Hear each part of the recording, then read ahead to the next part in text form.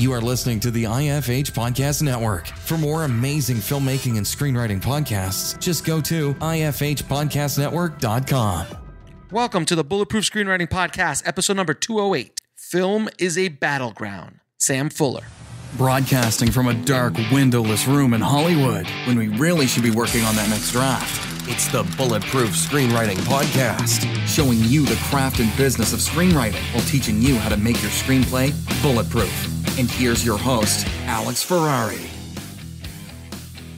Welcome, welcome to another episode of the Bulletproof Screenwriting Podcast. I am your humble host, Alex Ferrari. Now, today's show is sponsored by Bulletproof Script Coverage. Now, unlike other script coverage services, Bulletproof Script Coverage actually focuses on the kind of project you are and the goals of the project you are. So we actually break it down by three categories micro budget, indie film market, and studio film. There's no reason to get coverage from a reader that's used to reading tentpole movies when your movie's going to be done for $100,000. And we wanted to focus on that at Bulletproof Script Coverage.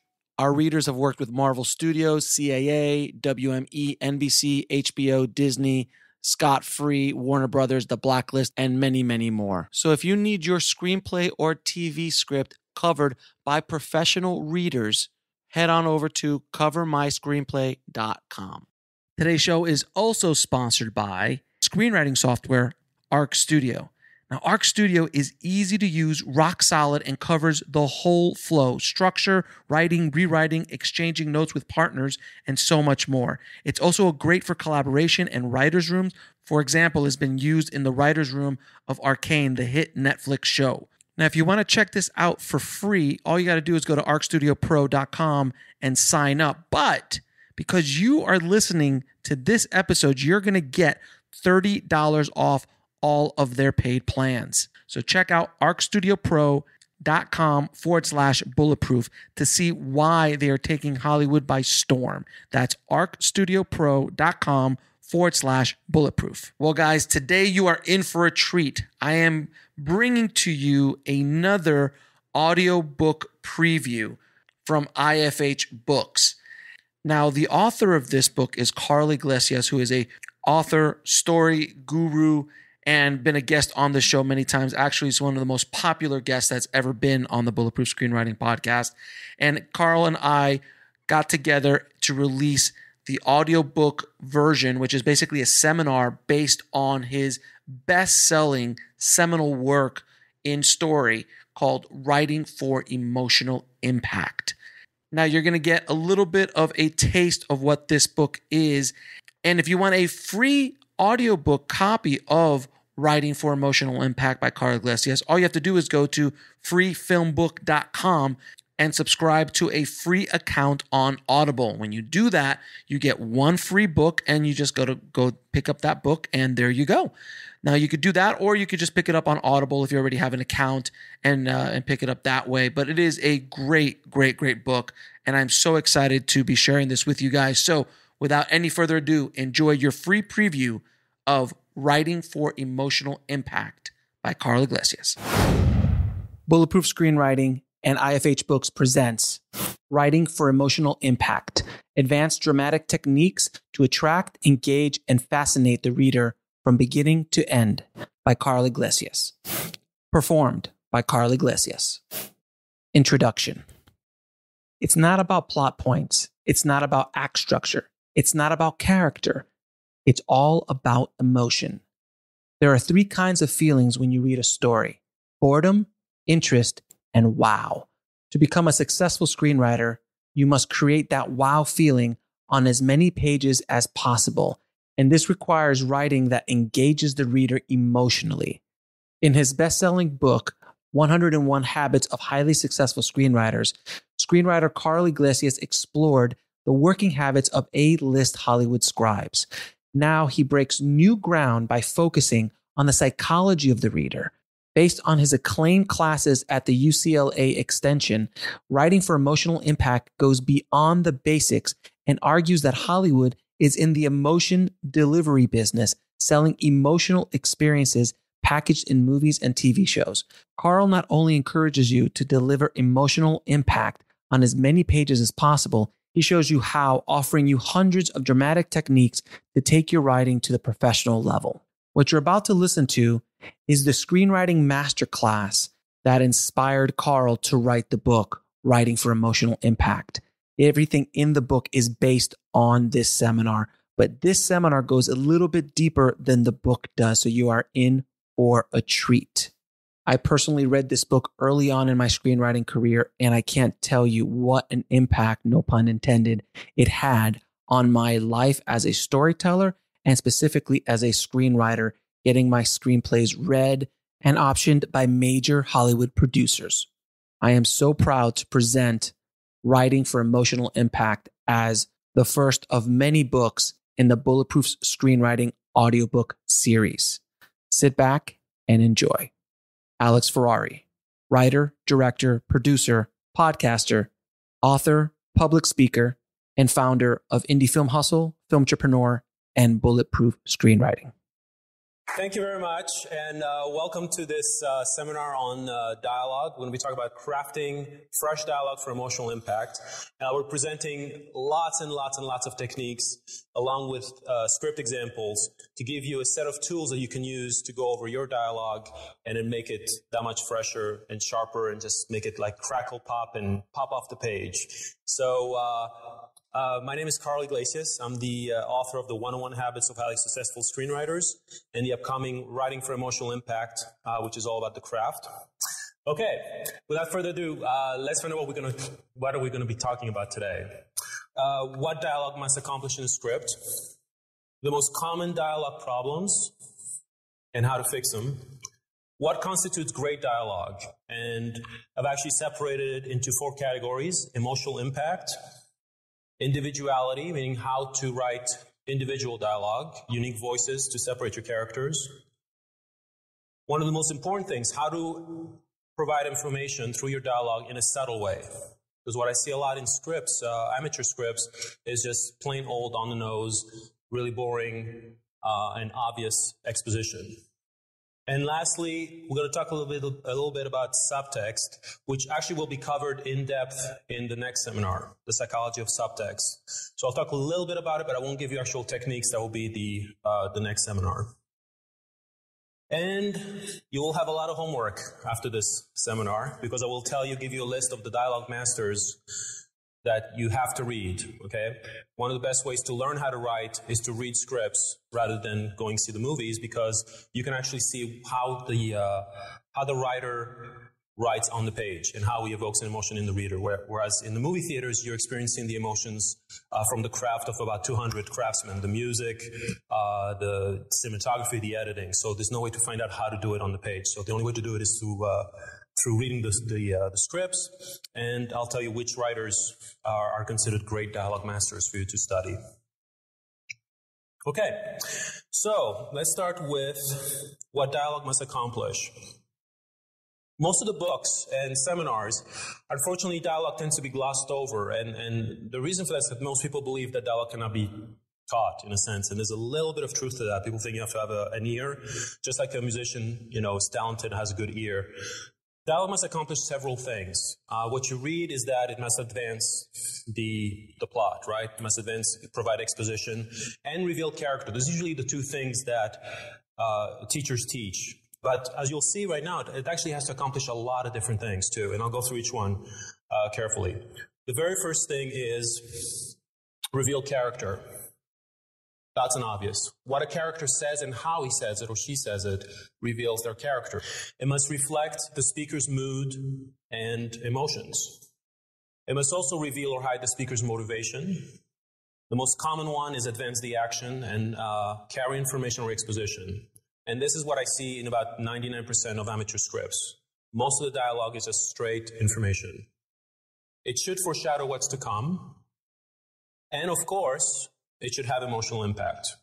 And by that I mean that the dialogue should be funny, tense, you know, uh, et cetera, et. This is what great dialogue does. It provides emotional impact. So what I'm going to do is actually talk about uh, some of the most common dialogue problems that I see in amateur scripts, and we'll talk about also how to fix them. Okay. The most, uh, and this will be in order, meaning from the least common to the most common. We'll be right back after a word from our sponsor. And now back to the show. So, what I see a lot is what we call stilted or formal dialogue. And stilted means that it's very literary, it's grammatically correct. Another thing you see a lot is that dialects are hard to read. A lot of amateur writers uh, create a character that's from a particular uh, region or country and uh, actually write and actually phonetically spell the dialect so that when you when you read it, you technically hear it. Now, it's it's good to a certain point, but what I see a lot is that it's really hard to read, and that takes you out of the reading. You're trying to figure out what is he saying, okay? And I'll show you a way uh, of how to fix that. So dialects are hard to read. Try to avoid uh, try to avoid that. Characters talk too much. In other words, you see a lot of huge chunks of dialogue in scenes. Characters all talk the same. This is a very, very common thing. And usually the voice is the writers, obviously. In other words, every chunk of dialogue you see, every character speaks the same way. And uh, one of the ways to, one of the standards you should shoot for is to actually hide the characters' names in your script. Once you print it out, like the first draft, hide it and then read the dialogue. And you should be able to know who's speaking just from the dialogue. That's your, that's your standard. Okay? Dialogue is predictable you see this a lot in bad television. Um, and even good television, sometimes I actually see that. Uh, and this is when you're able to predict what the next response will be to a dialogue. You know, some, somebody says, I love you. The most common response I would say all the time, I love you too, right? And your job as a screenwriter is to write unpredictable dialogue. Okay? Dialogue is wooden, flat, and bland. And this usually occurs uh, through the exposition. When you see exposition, and it's just, you know, straight information. Um, it's also flat, it's bland, it's boring. Dialogue is too expository, and the reason for that is because the writer doesn't know how to write, provide exposition in a subtle way. And then, of course, who can predict what the last and biggest problem is? Dialogue is on the nose, the most common problem. And on the nose means that the dialogue is exactly what the character is thinking, what the character wants, uh, character's motivation, desires. It's just on the nose. I mean, it's exactly what they're thinking and want to say. And the reason it's boring, I'll talk about it in a second. Actually, I'll talk about it in subtext uh, seminar because that will be the bulk of this uh, of this problem. Okay, so what constitutes great dialogue? Emotional impact, individuality, meaning each character has their own voice, subtle exposition, and then subtext. Okay, so I'm going to start now with uh, the very first category, emotional impact. And what I'll do is actually give you the technique and I'll show you examples from scripts. Okay? And you'll be able to see it in action from great scripts. So, cliche alternatives is your very first technique. And as the title implies, it just means turning your cliche, taking cliches, cliche lines that you've heard, and turning them to your advantage, meaning use an alternative to that. Okay? And let me show you an example. This is from Lethal Weapon by Shane Black. Oh, by the way, guy who shot me? Yeah. Same guy who shot Lloyd. Jesus, you sure? I never forget an asshole. Okay? Now, what would have been the cliche there? The cliche would have been, I never forget a face right? That's a line you've heard a hundred times. Shane Black took that line, it's a cliche, and just tweaked, tweaked it just a bit and made I'll never forget an asshole, and that made it, that made it funny. All right? So that's one example. This is an example from Body Heat by Lawrence Kasdan.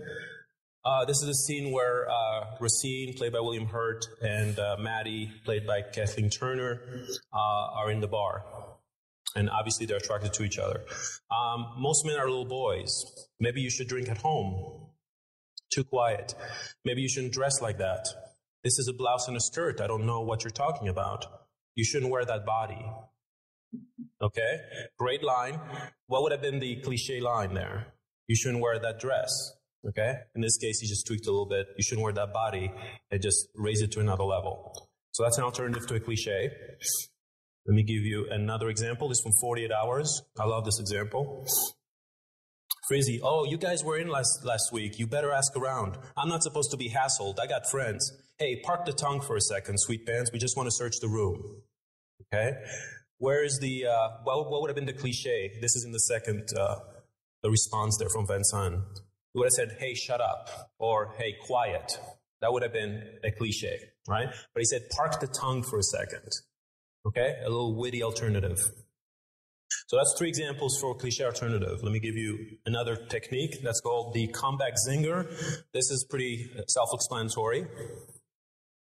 Now, everybody knows what a zinger is, right? It's a, it's a quick, witty comeback that's usually supposed to attack a person.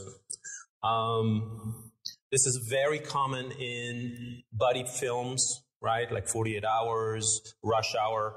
One person sets up the line, the other person just comes back with a zinger, just back and forth. And I think in uh, Saturday Night Live too, they, they had they have a character who's like Mr. Zinger, right? And the whole thing. So you understand the concept. So let me give you some examples of comeback zingers. This is also from 48 Hours.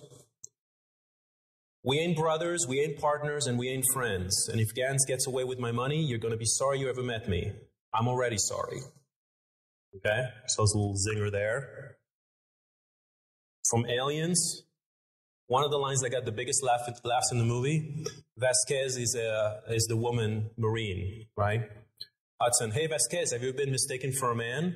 No, have you? Okay, come back, zinger. This is from All About Eve. Great script, by the way, to study because it's got like hundreds and hundreds of really witty lines and comebacks from uh, um, Mankiewicz. Uh, Bill, is it sabotage? Does my career mean nothing to you? Have you no human consideration? Show me a human and I might have. Okay, so Margo is insulting.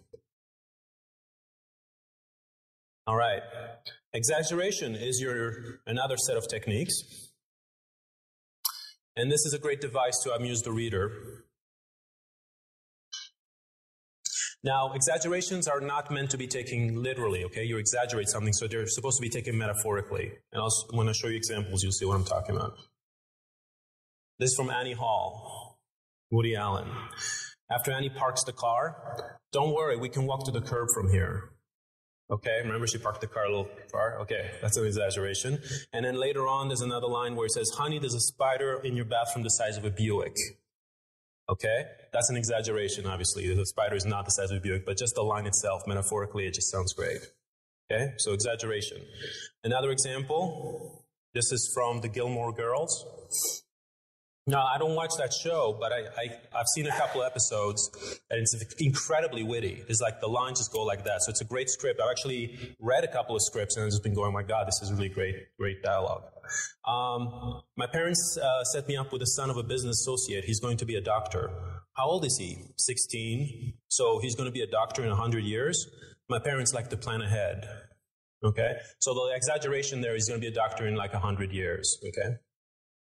And from As Good as It Gets, Carol, an ear infection can send us to the emergency room maybe five, six times a month, where I get whatever nine year old they just made a doctor. Nice chatting with you. Okay? You see the, uh, what the exaggeration here is? The nine year old doctor. Whatever nine year old they, they uh, made a doctor. So it just raises your dialogue to another level when you use that, that particular technique. All right, comic comparison is another technique. Now, this is about humor.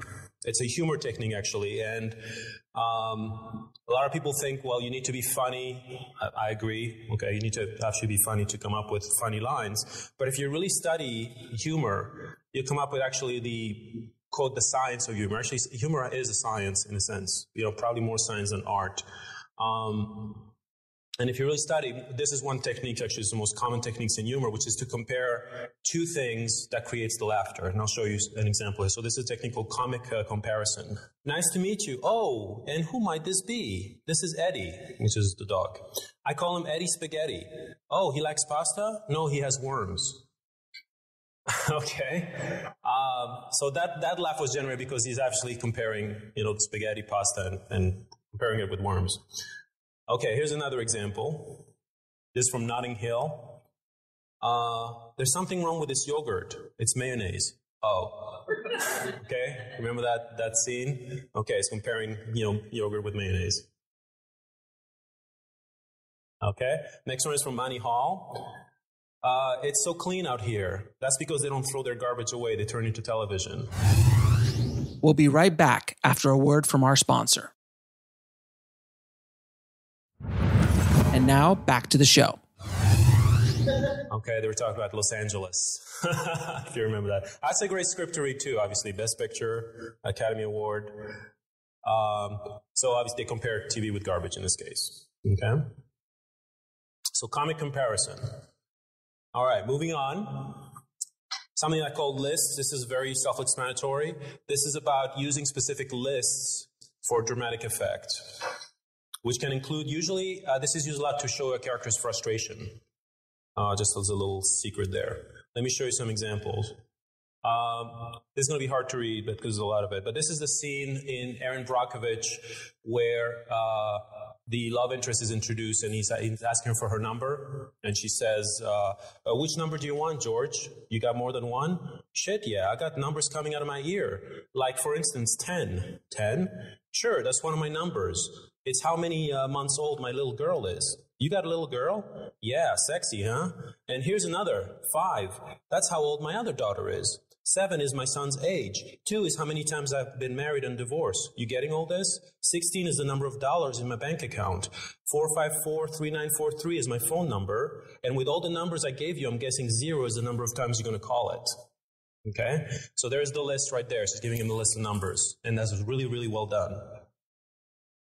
I'm giving another example numbers. Some, something's got to give with Jack Nicholson and uh, Diane Keaton. Can we talk tomorrow? What for? I saw your friend you were having dinner with.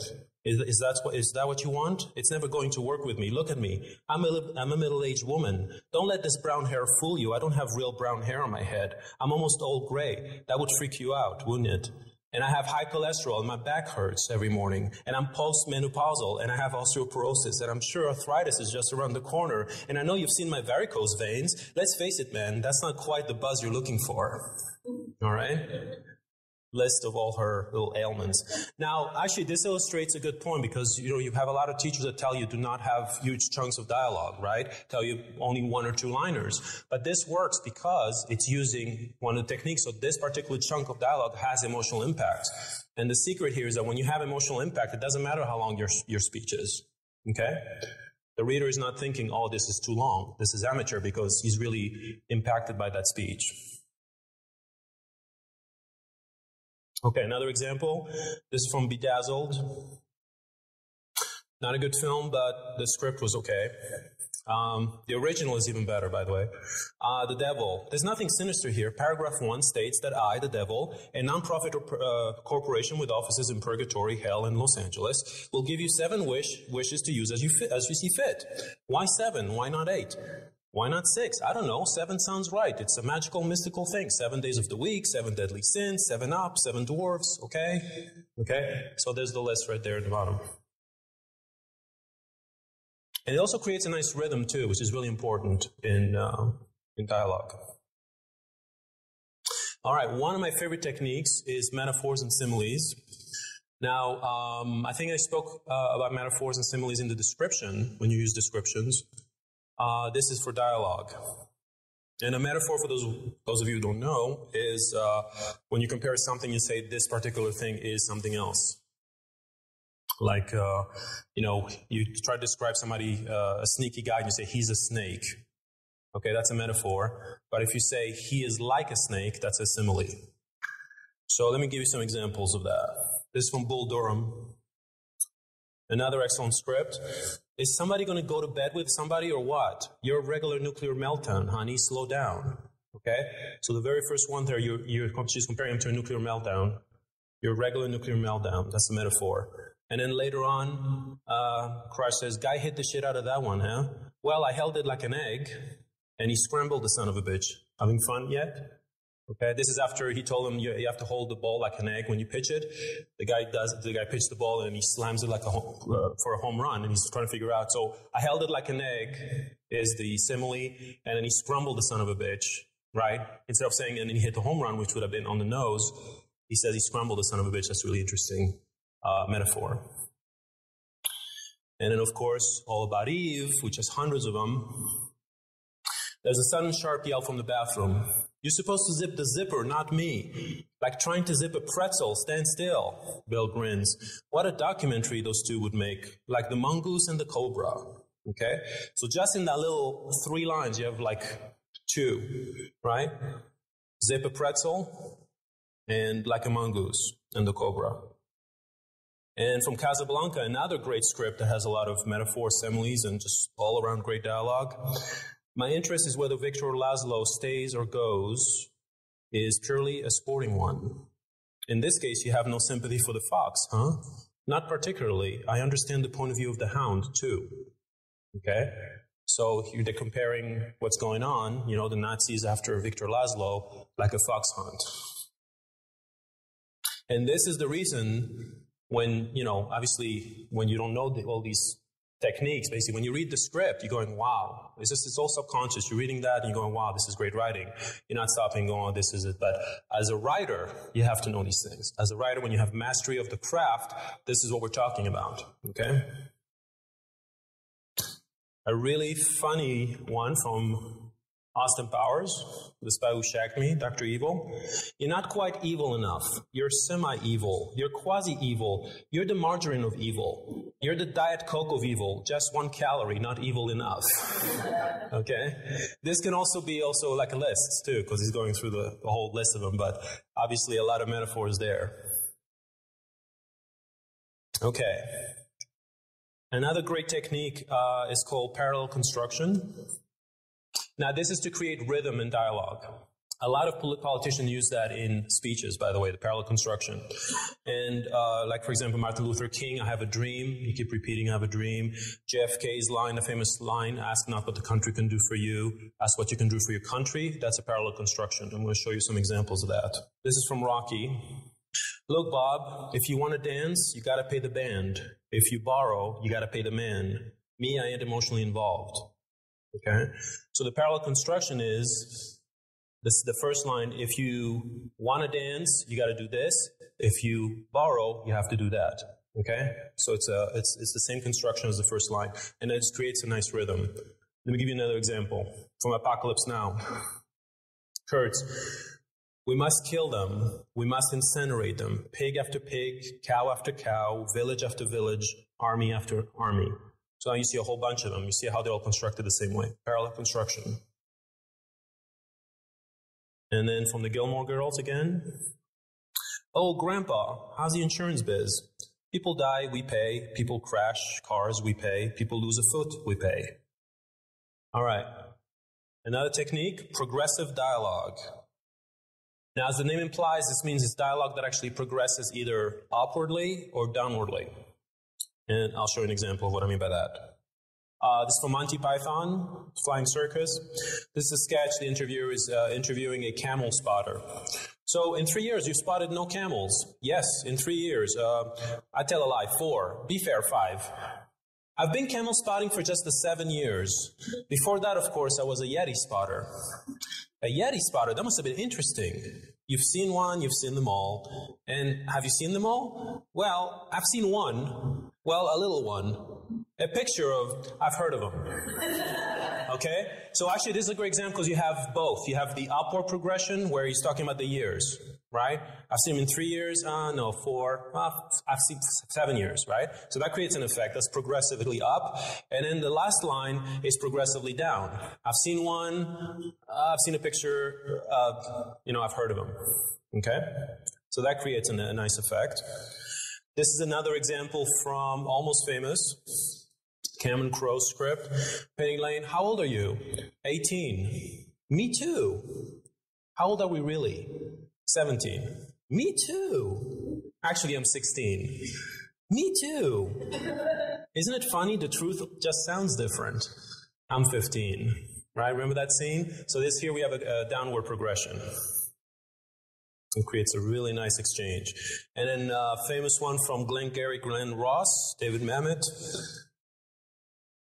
Uh, Blake, we're adding a little something to this month's Celts contest. As you all know, first prize is a Cadillac Eldorado. Anyone want to see second prize? Second prize is a set of steak knives. Third prize is you're fired. Okay? So, obviously, another uh, upward progression here. Okay, this is one of my favorite, favorite, favorite uh, techniques, what I call push button dialogue. Now, as the name implies, this is dialogue that pushes someone else's buttons. We'll be right back after a word from our sponsor. And now back to the show. and causes an emotional reaction. Now, it doesn't have to be a nasty thing, like, you know, you're trying to insult them, that would be like a comeback zinger. It could be also, you want to make them like you, you want them to love you, so, you know, you also would say a line, and I'll show examples of that too. But if you, if you think about your most favorite, uh, like favorite, favorite lines of dialogue in the history of movies, okay, there, chances are like seven out of ten of them are push button dialogue techniques, okay? They're really, really effective.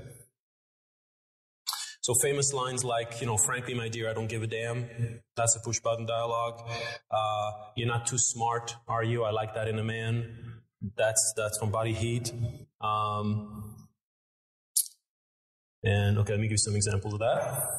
This is from Real Genius. Uh, oh, you're the new stud, aren't, are you? Uh, or is it dud? How do you mean? Stud, hotshot, brain? You're 12 year old, right? I'm 15. Does your body know that? Okay? He's insulting his intelligence. Push button right there. As good as it gets, there's a couple of them there.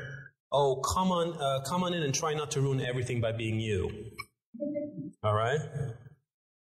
And then later on, Carol, when you first came into breakfast, uh, when I saw you, I thought you were handsome. Then, of course, you spoke. Okay? Another push button. And now there's a great line from Silence of the Lambs. Lecter, why do you think he removes their skins, Agent Starling? Thrill me with your acumen. It excites him. Most serial killers uh, keep some sort of trophies from their victims. I didn't. No, you ate yours. Okay? We'll push, push his buttons there. And vice versa. Actually, one of the most, uh, uh, most memorable scenes is when both people are pushing their buttons back and forth, you know? From uh, another example from uh, Something's Gotta Give. Wow, it's the perfect beach house. I know my mother doesn't know how to do things that aren't perfect, which explains you. Okay? So in this case, that's, you know, he's actually giving her a compliment, right? So he's pushing her romance buttons there. So it doesn't all have to be negative. Okay, and this is kind of a little long, but this is the famous uh, body heat scene. I'm a married woman, meaning what? Meaning I'm not looking for company. She turns back towards the ocean. Then you should have said, I'm a happily married woman. That's my business. What? How happy I am. And how happy is that? You're not too smart, are you? I like that in a man. All right? Famous line from Body Heat. All right. Uh, let's move on to three more uh, techniques under that category. This is reversals. And uh, this is when, uh, as the name implies, uh, a reversal is when a character takes the opposite turn in the middle of a thought. All right, let me give you some examples of that. Reversals. As good as it gets. You want to dance? I've been thinking about for a while. And Carol rises. And? No. okay. You see the reversal there? That creates humor. When Harry met Sally, uh, I've been doing a lot of thinking, and the thing is, I love you. What? I love you. How do you expect me to respond to this? How about you love me too? How about I'm leaving? Okay? So you got a reversal, and actually, this is also an example of another technique you just saw. How about you love me too? How about I'm leaving? Parallel construction, right? From Butch Cassidy and the Sundance Kid, William Goldman's famous script. I think we lost them. Do you think we lost them? No, neither do I. Okay? You see, very simple, right? Very simple reversal um, creates, creates an emotional impact right there. Okay. Another technique you have at your disposal is understatement. And this is the opposite of exaggeration, right? Remember you had exaggeration in your toolbox? This is the opposite, understatement. And this is when you actually uh, the, you downplay, the dialogue downplays, you know, the problem. Like the famous line in Apollo 13, Houston, we have a problem. That's a good example of uh, understatement. All right, from Almost Famous, Anita shakes hands uh, with mom and exits. As the car takes off, she'll be back. In the distance, we hear the whoop of her daughter. Yee-hoo! Maybe not soon. okay, so that's an understatement. From Psycho, Mother isn't quite herself today. Very simple. The mother of all understatements, right? From Last Boy Scout, uh, one of Shane Black's scripts. The two men approach the door. Jimmy takes out his key ring. The cops are going to uh, want to check this place out, so don't disturb anything. Yes, Massa. Uh, Jimmy opens the door, flips on the lights, stopped, stops in his tracks. In his tracks, the room has been systematically torn to pieces. Broken furniture, shredded clothing everywhere. It looks like a combat zone. I think someone disturbed some stuff, Joe. Okay, understatement.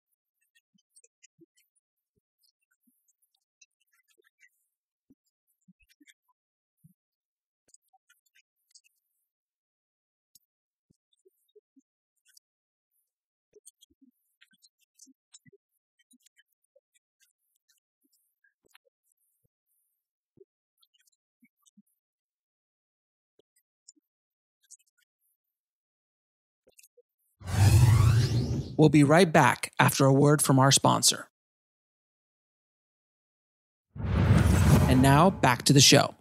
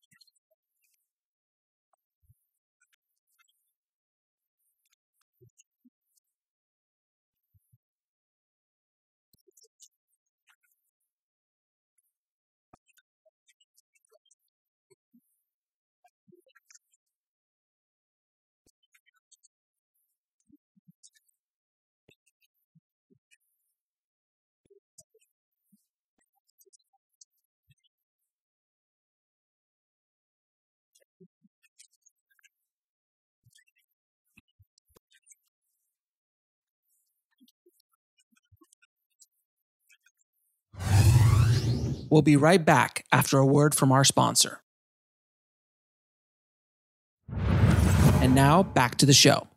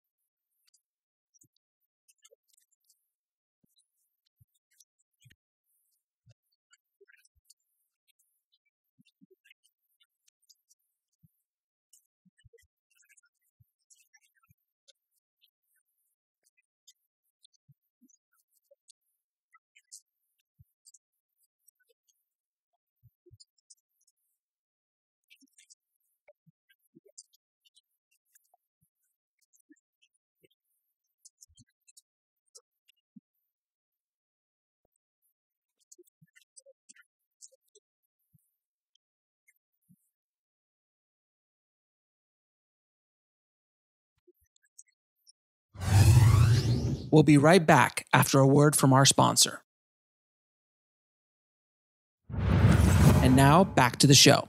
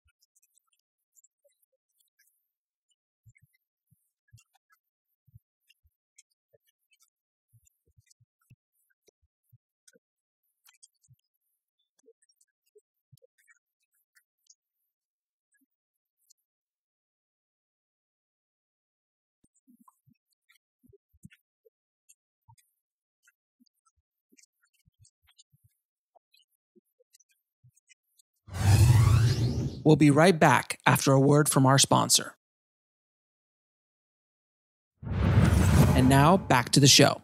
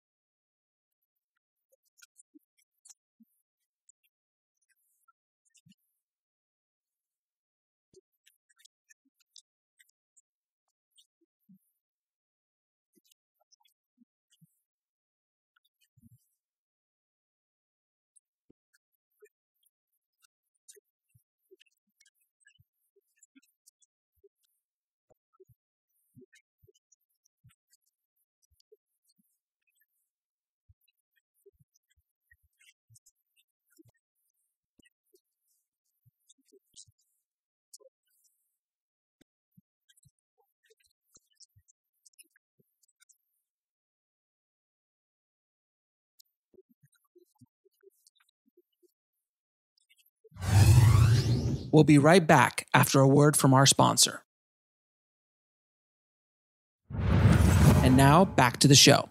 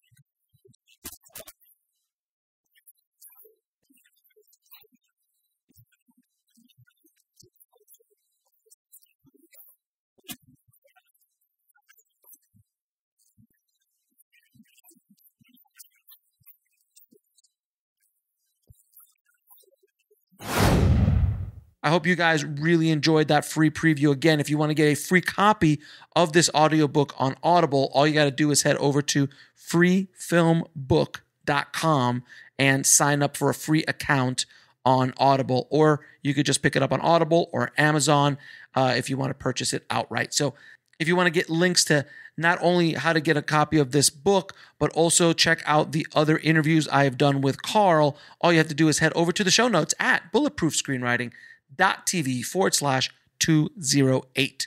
Thank you again so much for listening, guys. As always, keep on writing no matter what.